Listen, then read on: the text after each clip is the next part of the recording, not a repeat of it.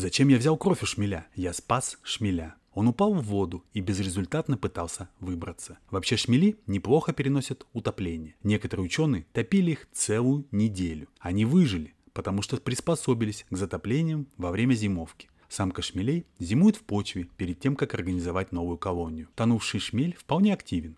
Давайте посмотрим на физиологическое состояние пловца. Заберу его в лабораторию. Для комфортного путешествия ему понадобится еда. Сейчас цветет лук, и шмели собирают на нем нектар. Они так увлечены, что их даже можно погладить. Благодаря длинному хоботку, который длиннее пчелиного, они способны собирать нектар со дна глубоких цветков. Шмели очень мирные, живут семьями по несколько сотен особей. Жало без поэтому если и ужалит, то ничего доставать не придется. Как же тонувший теперь себя чувствует?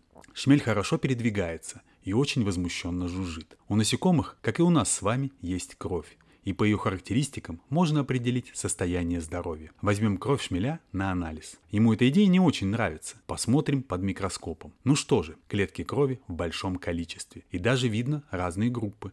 Формула крови нормальная. Присутствуют гранулоциты. Эти клетки особенно нужны ему для поддержания иммунитета. В общем, у нашего пловца все хорошо, его можно отпускать на свободу. Ведь шмели – это один из основных опылителей в природе, и они повышают урожайность растений, могут работать при низких температурах и в любую погоду.